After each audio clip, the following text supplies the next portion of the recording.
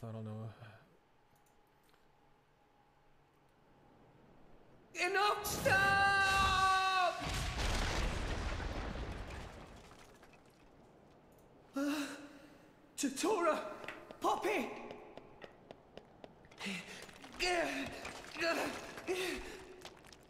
No, I never wanted this.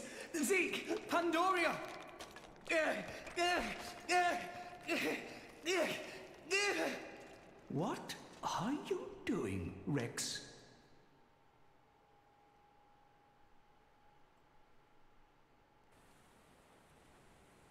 What?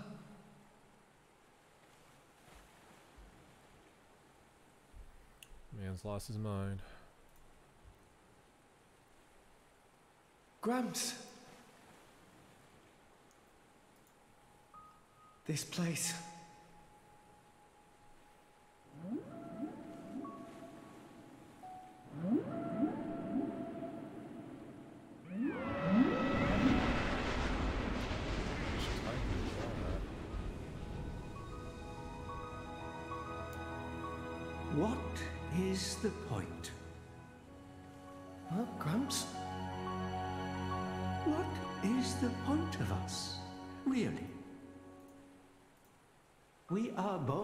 As blades, then return to our slumber, again and again, over countless years. Until we become titans, to wander this world for countless more. And at the end of it all, we sink into nothingness. Have you ever thought about it? What it means to exist for close to an eternity with no clear purpose or goal? That's. Must be nice to be human. Living for a limited time, thinking limited thoughts. It must be so much easier. I envy your kind. Just think, Rex, would you? What would you do if you were me? Would you be happy to drift around the ocean with a human on your back? Is that all I am to be?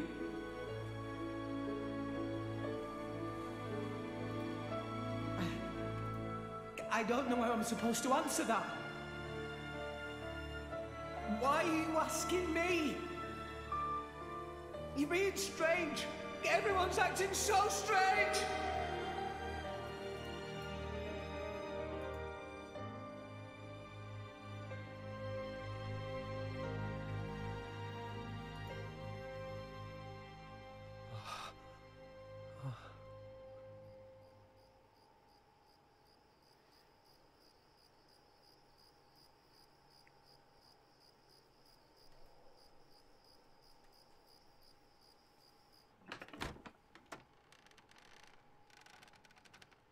Welcome back. You're late, Rex. Where did you wander off to? Pyra. Mythra. Come on, let's go ahead and eat. I've cooked up a whole bunch of your favorites. I hope you've got room.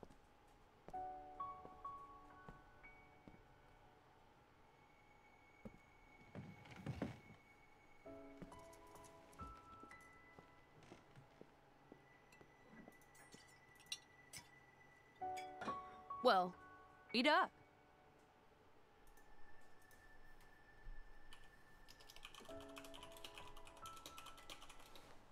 Which kind of bread do you want? Oh, uh, um, maybe this and this. There you go. Thanks. Hey, do you want some wine? Oops, you're too young. Silly me. Mythra, has something happened? What do you mean? It's just you're a lot nicer than normal. Stop it. I'm always nice to you, aren't If if you say so. Hey, Rex, come on. How can you sit down to eat without washing your hands first? That's a faux pas. Go wash your hands right now. Um, sorry.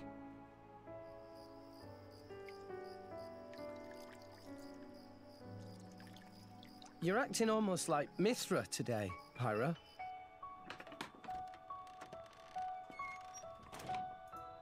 Did you scrub them properly? Yeah. They're clean. Great. Okay then, let's eat. Thanks for the food. Um, it looks really good.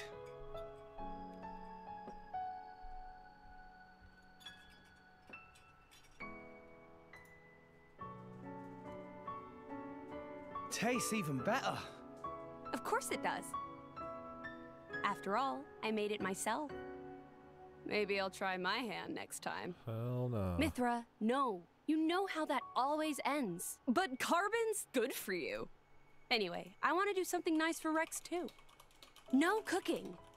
Who's gonna save the world if Rex gets the runs? You're so mean.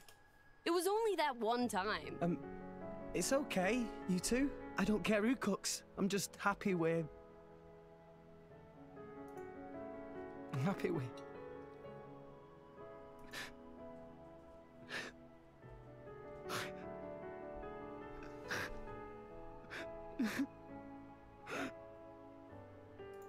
Rex.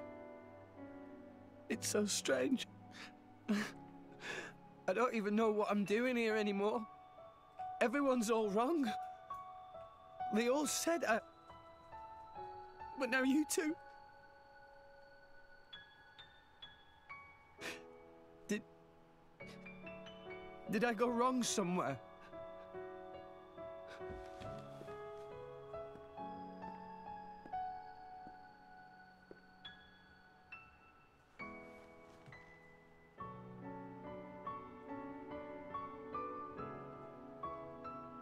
I think that's enough.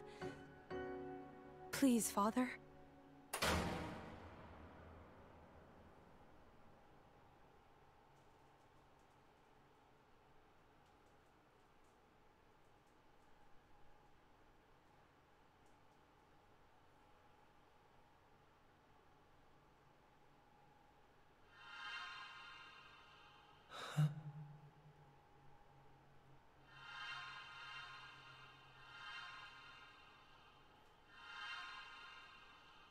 You guys. Rex. Why are we all here? I thought I was. I merely wished to examine the shapes of your hearts. That voice.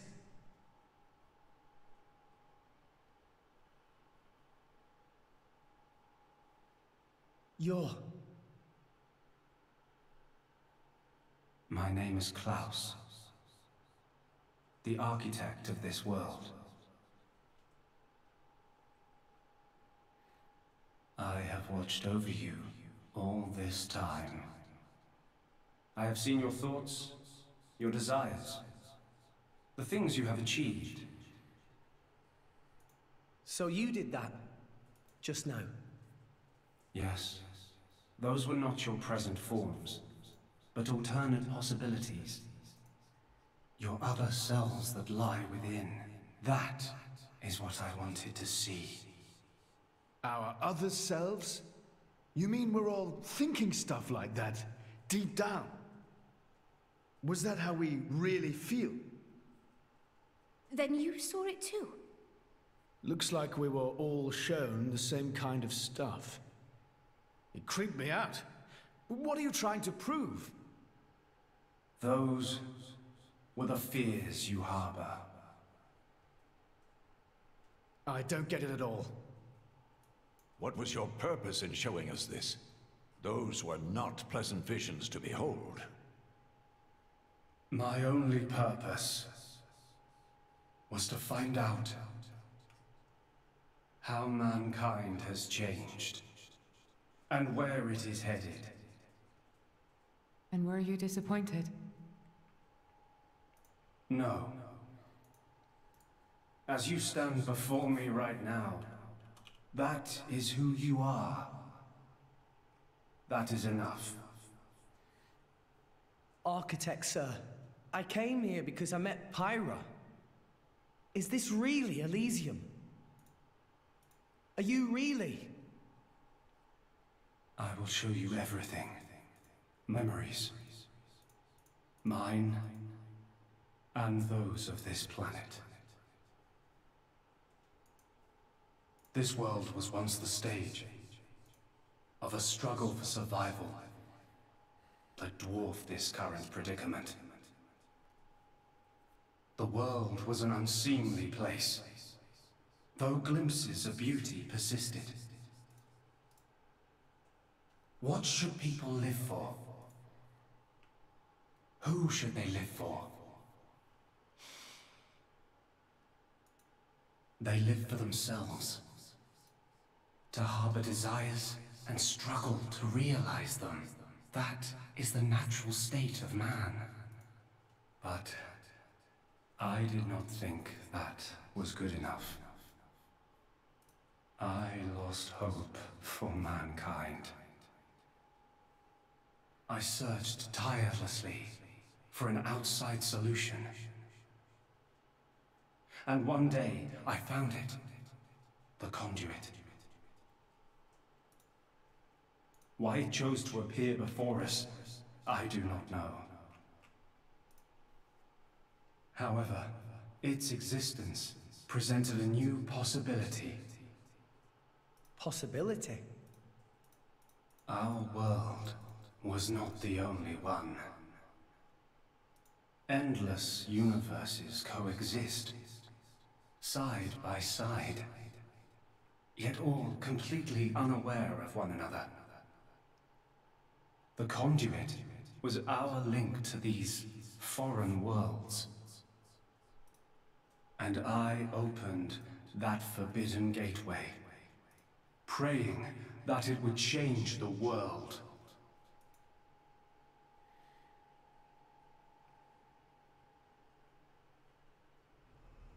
You have seen the plane called Morytha, have you not? That is what remains of my world. When I opened the conduit, many people and many things disappeared into distant dimensions. All that remained here were the ruins of Morytha. And half of my body. Damn. Your body? Half of me lives on in some other dimension. But not for much longer. What do you mean? The moment of my other self's demise draws near. Father, you. I was a fool. Because of my foolishness, I lost everything. Left here, alone and broken, I longed for oblivion, but even that eluded me. This is my punishment. Retribution from on high for the sin I have committed. On high?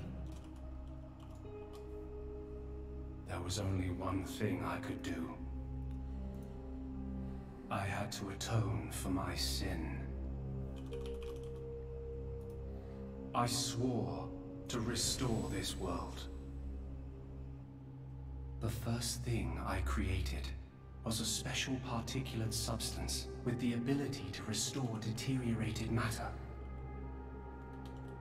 You all know it as the Cloud Sea.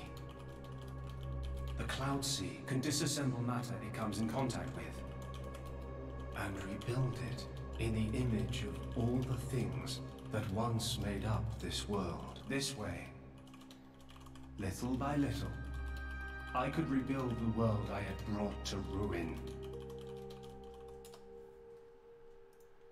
Next, I began to recreate life. I gathered miniature vessels containing memories of all this planet's former life forms. And I scattered them across the Cloud Sea. These are the core crystals.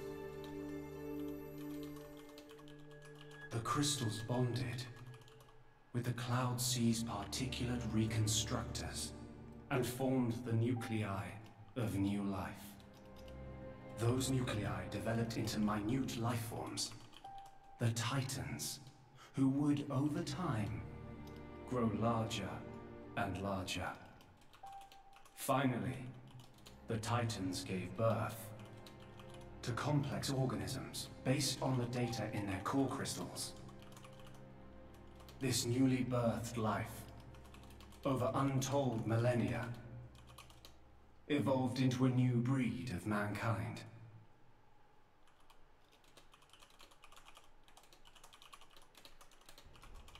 So that's how we came to live in this world. But I did not trust this world, born as it had been. What if it were to repeat our mistakes? What if someone like me appeared?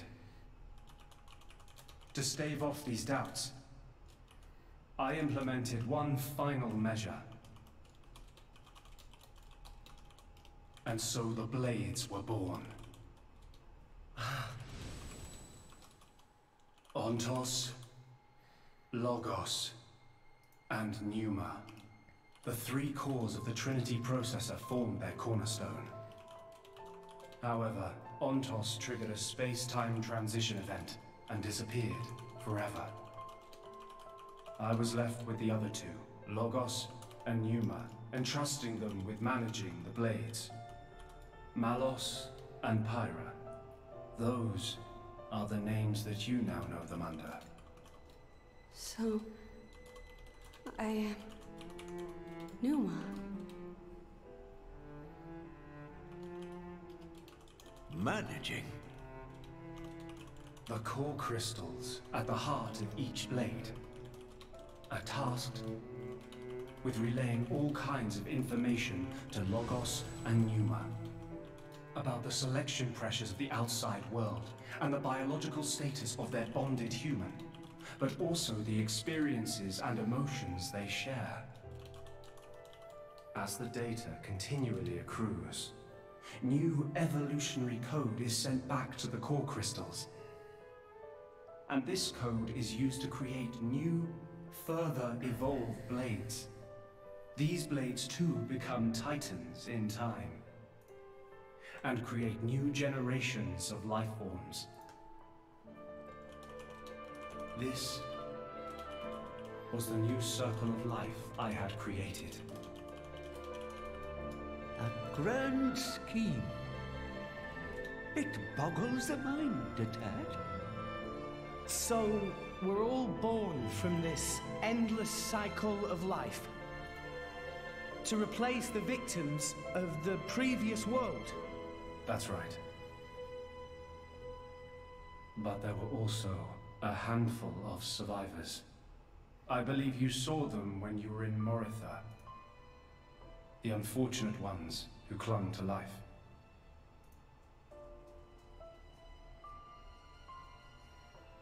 Ah. You mean those monsters? Were they originally people? Core crystals were first conceived as a replacement for human brain cells. A product of mankind's age-old quest for immortality. And that's what became of them. How awful. But that technology became the starting point for the creation of blades and titans. So, in one sense, their Bear with me. sacrifice was not in vain, I'm sorry. Though not all may see it as such. So tell us, in the end, did we develop as you had hoped? What do you think? I couldn't possibly. Well, Those phantasms which you all experienced earlier. Those are feelings that lurk in all of your hearts. As well as that man, Amalthus.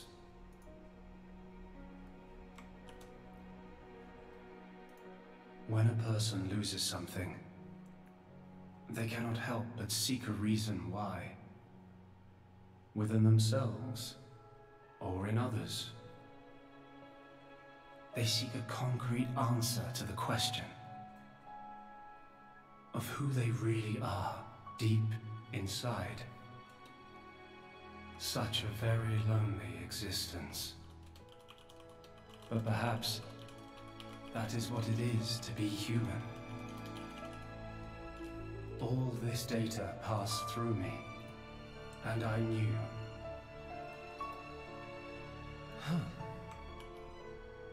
All of you. You were not in any way different from us before. Ah. That's why I did not intervene. 500 years ago, when the man finally arrived here, I did nothing when he took away Logos and Pneuma. I stood and watched as Logos, instantiated into blade form, set out to purge the world. You don't make sense. Didn't you go to all that trouble to rebuild it? Then why would you. It is fate. Fate? It is fated to happen. It cannot but happen. My atonement was doomed from the start. That can't be. I had made my peace with it. Once more, I longed for nothing more than to disappear. However, something has now changed. And that is you, Rex. You and Pneuma. Me? And Pyra and Mythra? You reforged your bond in a way I had not thought possible. And the life you share.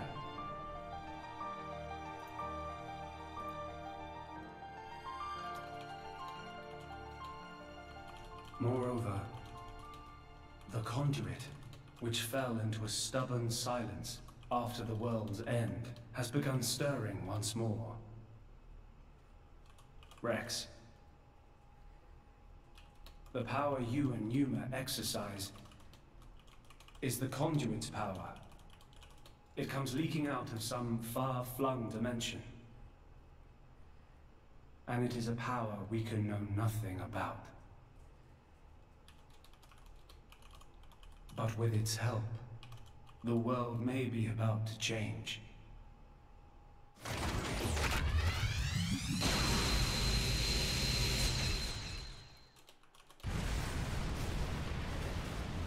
What's all this shaking? It is Logos. Malos.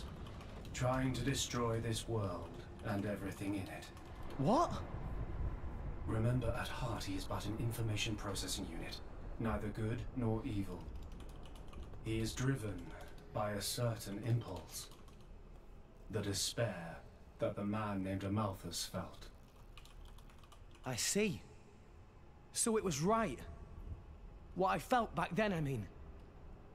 Rex, Rex, what is it you desire? What else? To stop Malos. And if you succeed? I'll punch him in his stupid face, and then... Probably get a drink with him or something. That's the sixth rule of the Salvager's Code. First have a punch out, then drink to forget. Once you've forgotten, the friendship's all set. I'm not old enough to drink yet, though. I see. Pneuma. No, I should call you Pyra and Mythra. what is it? I want to apologize for having burdened you. with all this. Don't worry. We're actually grateful. Thanks to you, Father, we got to meet Rex. And everyone else. Those are cherished memories.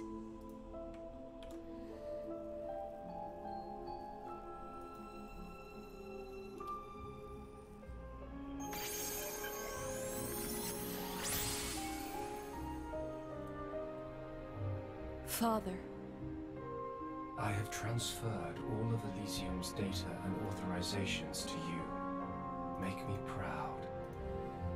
we will. Rex, Yes.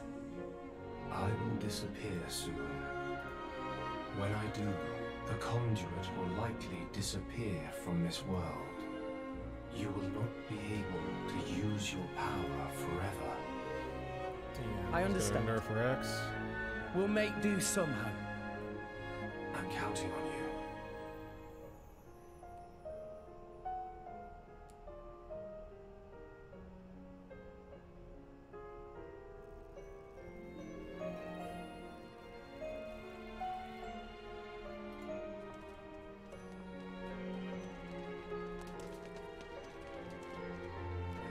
Close. Changed your mind about this world? Right now,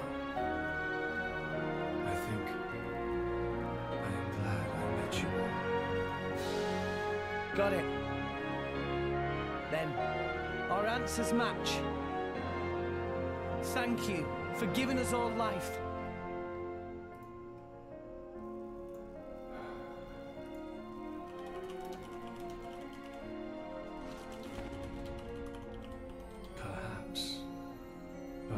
I will be able to face you again. Galea.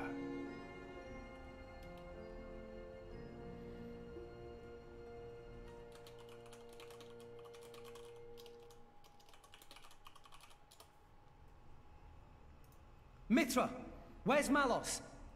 If he is here, I know where he must have gone. Where is it? Tell us. The greatest of all artifices. The artifice that exists solely to destroy the world. Aion.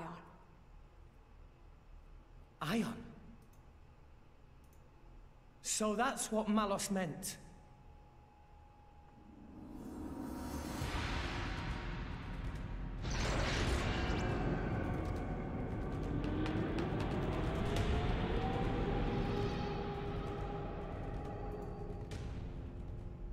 Then that's where we'll go.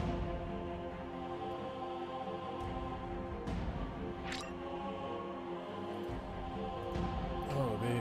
Well, this is the end. And it's a good point for me to stop at, too. I've got news. But will you hear it? Um, Probably I gonna do hope some you will be the bearer of good news. Tiger Tiger and some other farming for like Octopod and some shit tonight. But yeah, this is the end of the stream. I want to go get some fresh air, get some exercise, take a break, stretch my legs out. Yeah, thanks for watching. I appreciate it. Appreciate the support. We'll be back tomorrow with more of this, probably finale. I'm also trying to get a static going or into a static tomorrow. So see how that goes. Yep, that's it for me for the night. I'll catch you guys later. Peace out.